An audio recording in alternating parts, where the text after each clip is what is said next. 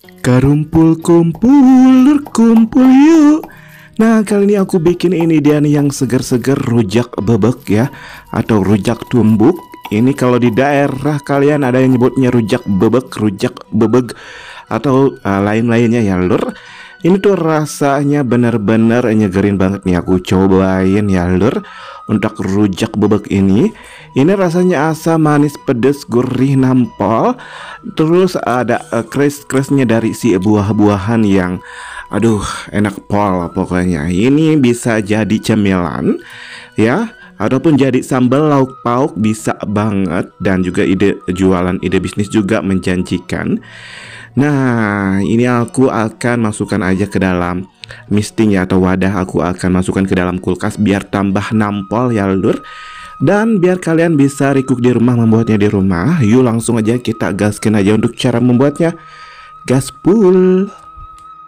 Langsung aja kita sediakan uh, bahan-bahannya ini. Sediakan untuk buah-buahan. Bisa kalian lihat ini yang aku pakai buah-buahannya. Boleh kalian pakai uh, buah lain atau tambahan buah lainnya ya lor tapi aku pakai apel secukupnya aja satu buah. Aku juga pakai kedongdong yang udah aku kupas secukupnya. Dan aku juga tambahkan untuk uh, ubi ubi rambat ya. Boleh ubi kayu secukupnya. Aku juga tambahkan untuk buah mangga secukupnya. Boleh tambahkan buah-buahan lainnya untuk rujak lainnya ya lur. Tapi aku ini yang aku pakai.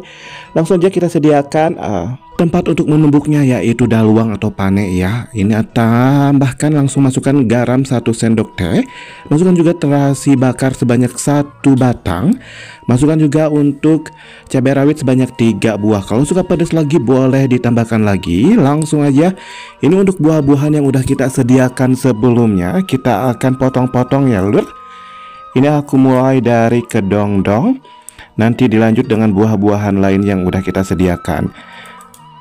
Nah, sambil aku memotong-motong untuk si buah-buahannya, aku akan menyapa kalian dulu-dulu di rumah karena aku sampai lupa untuk menyapa kalian dulu-dulu di rumah. Hai dulur-dulur, apa kabarnya? Mudah-mudahan kalian sehat selalu, murah rezeki ya. Dan bagi kalian yang uh, sedang keadaan sakit, mudah-mudahan cepat disegerakan sehat pulih kembali. Nah, buat kalian yang baru bergabung, baru menemukan channel ini, aku ucapkan salam kenal, salam silaturahim, semoga betah di sini. Wabil khusus buat kalian yang belum subscribe, like, dan komentar nih, jangan lupa untuk subscribe, like, dan komentarnya. Aktifkan juga tombol notifikasi loncengnya biar tidak ketinggalan video-video selanjutnya. Dukung support channel ini untuk lebih berkembang, lebih maju lagi. Kalau perlu kalian share untuk video-video dari AA ya ke komunitas kalian. Terima kasih. Nah, lanjut aja ini untuk si buah-buahannya kita akan uh, potong-potong uh, ya. Ini opsional kan aja untuk pemotongannya mau besar mau kecil karena nanti juga bakal ditumbuk juga ya, Lur.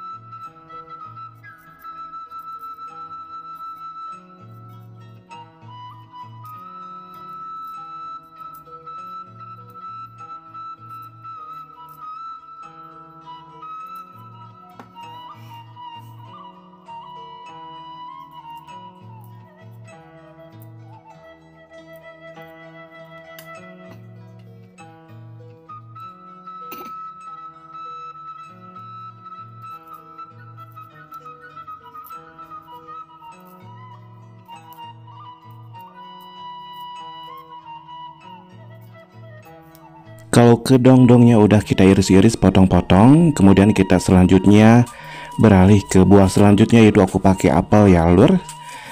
Aku akan potong-potong secukupnya aja. Ini untuk buah apel ini pengganti dari bengkuang ya lur.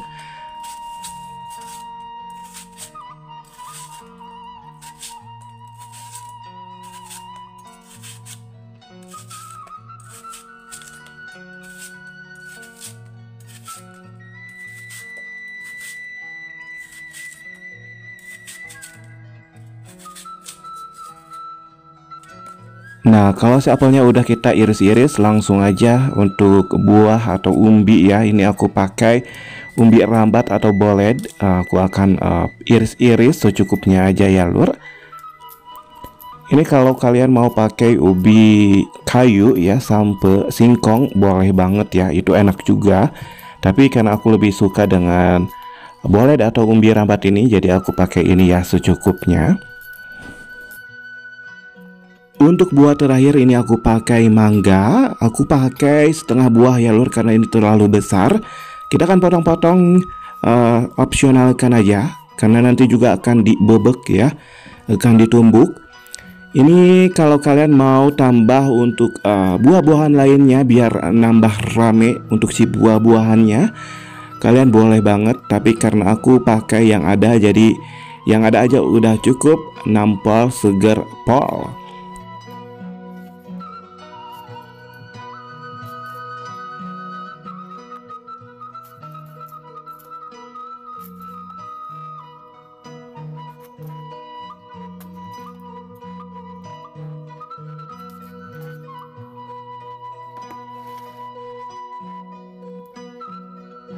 Lur untuk buah-buahannya udah aku potong-potong iris-iris lanjut kita bebek-bebek ya. Ini aku pakai halu kalau di Sunda Maya lur atau tumbukan.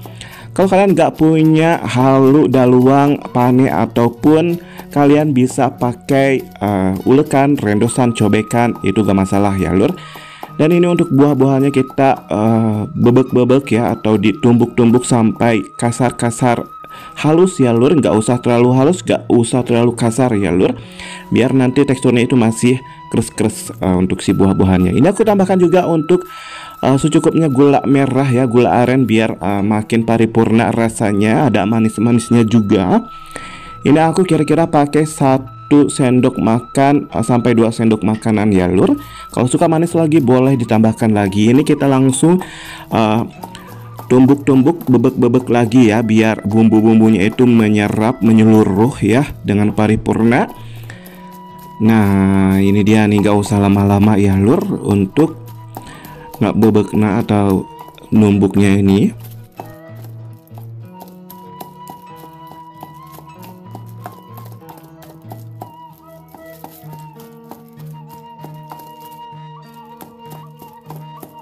Nah ini untuk penumbukannya udah aja ya lur. Langsung aja kita cek koresi rasa atau dicobian ya kalau kata orang Sunda mah. Ini kalau ada yang kurang boleh ditambahkan lagi. Kalau ada yang lebih juga bisa ditambahkan kekurangannya. Tapi kalau udah pas langsung bisa disajikan ya lur. Ini coba Masya Allah tabarakallah. Ini seger banget lur. Untuk teksturnya keras-keras renyah ya Untuk si buah-buahannya.